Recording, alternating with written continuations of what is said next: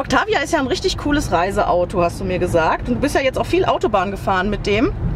Ähm, du bist ja von Hamburg nach Hannover gedüst und hast ziemlich geflucht über äh, die eine Stelle bei Schwarmstedt, wo immer Stau ist. Richtig, bingo. Ähm, hat der Octavia dir da irgendwas geboten, um da ein bisschen besser durchzukommen? Naja, also außer dem Live-Traffic, äh, dass man den Stau umfahren soll, was ja üblich ist bei modernen Navigationsgeräten, erstmal nicht. Es sei denn, und darauf hast du mich aber hingewiesen, äh, wo du sagst, hey, ich habe was ganz Tolles gesehen im VW Passat. Und ich so, ja was denn? Ja, es gibt sogar Stau voraus. Ich so, wie Stau voraus? Du hast doch Live-Traffic. Ja, kriegst du die Staumeldung sowieso und die Empfehlung, also die, weiß das? Umgehungsempfehlung. In Deutschland haben wir so tolle Begriffe. Umgehungsempfehlung. Ja. Und ich so, Stau voraus, was? Und wir haben jetzt hier ein Ziel eingegeben in Hannover. Das können wir jetzt simulieren. Wir machen mal die Karte einfach größer und tun so, als würde irgendwo ein Stau auftauchen.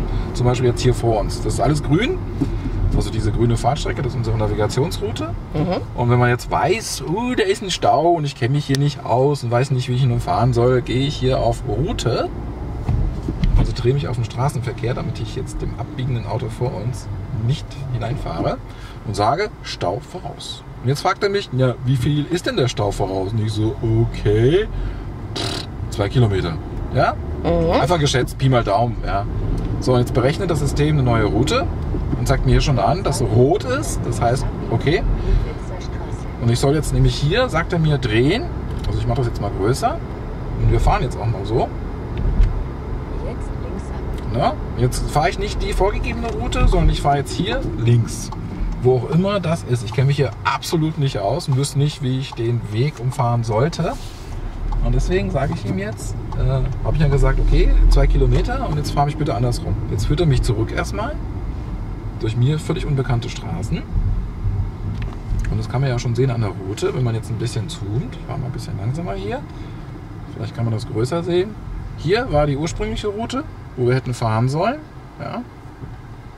So rum, zwei Kilometer. Kann man ja scrollen, kann man immer noch sehen. Alles rot, ja. Mhm. Und er hat gesagt, gut, kein Problem, ich gebe dir eine andere Route. Du fährst jetzt hier so parallel dran vorbei. Ja?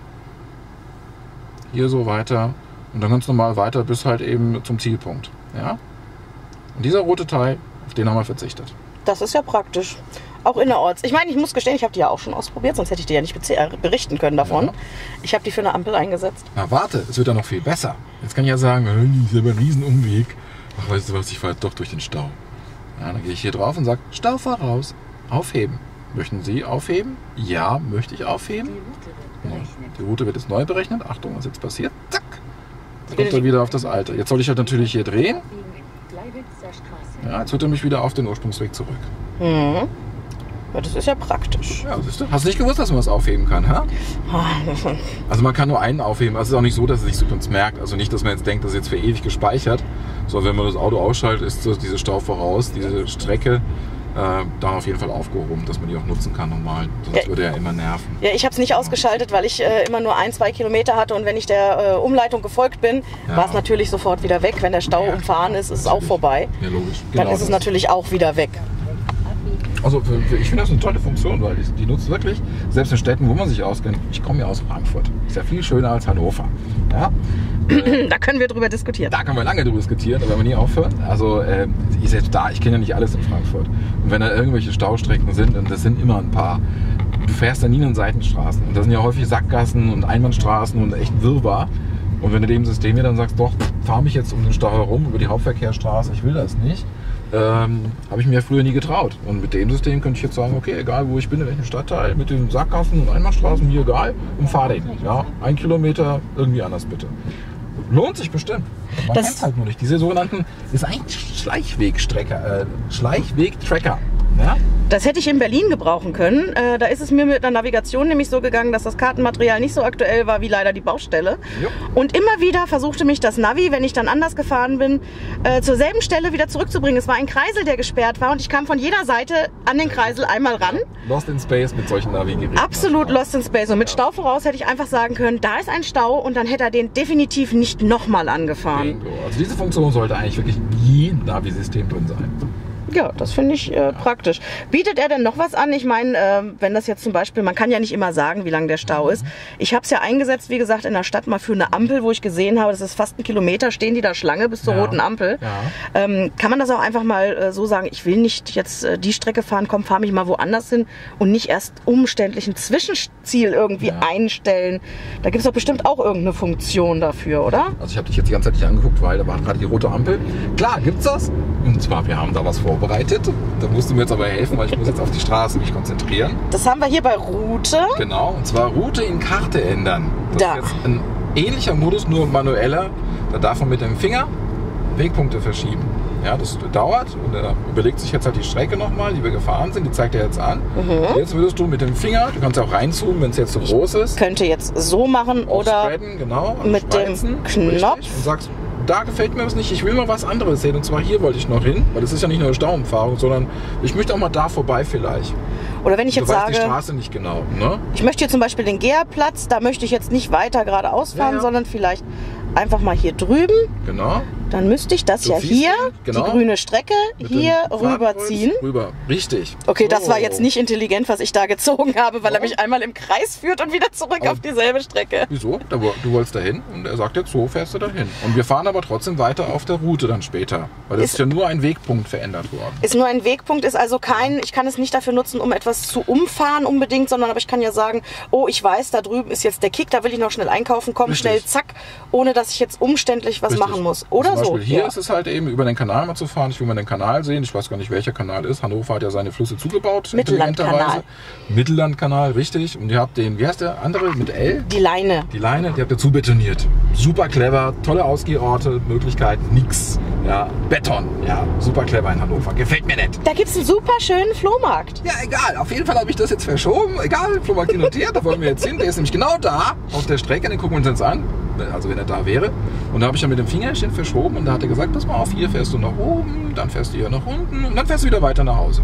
Ja, das Praktische, was ich daran sehe, ist ja, dass er dir gleich anzeigt, was in der Nähe ist, zum Beispiel Tanke ähm, oder ein Krankenhaus oder ein Park oder eine Einkaufsmöglichkeit. Er zeigt es ja mit den blauen Symbolen, sodass du einfach mit dem Finger die Route dorthin halt umlegen kannst, äh, wenn du weißt, ich muss tanken und willst nicht erst, wo ist die nächste Also Tankstelle machen. Okay, du lass uns dahin navigieren.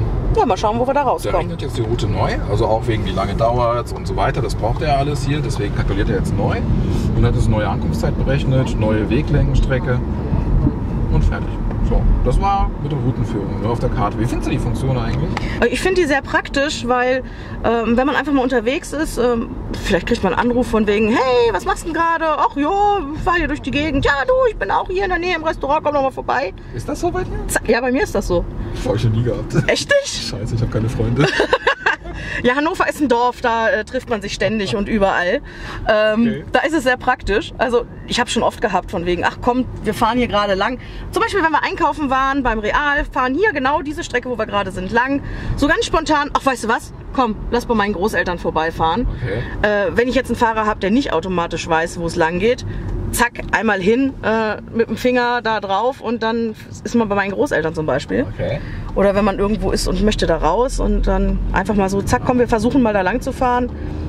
Also Geht. ich kann mir das touristisch vorstellen, weil du, manche Navis haben ja mit, das ja auch, wenn du es jetzt reinzoomst, ich, ich guck mal gerade, ist das jetzt hier drin schon? Äh, wo du Gebäude sehen kannst, ne? Also so Sehenswürdigkeiten. Ah. Ich glaube, bei dem ist es jetzt nicht.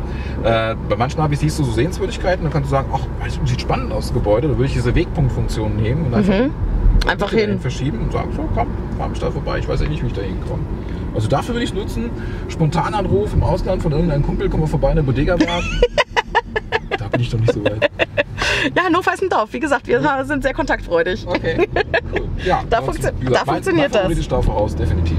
Ja, das definitiv, weil das hilft ja nun wirklich ungemein. Habe ich jetzt schon ein paar Mal verwendet übrigens. Ich meine, die Funktion jetzt mit, wir ändern mal eben die Route, ist praktisch wirklich, wenn du irgendeinen Servicepunkt brauchst, wie die nächste Tanke kommt, zeig mir mal die Karte und zack, Richtig. ich ziehe die Linie jetzt genau auf die Tankstelle und dann komme ich dahin. Ja gut, da fahrst du aber jetzt, ich meine, also wenn es darum geht, das würde ich ja nicht benutzen.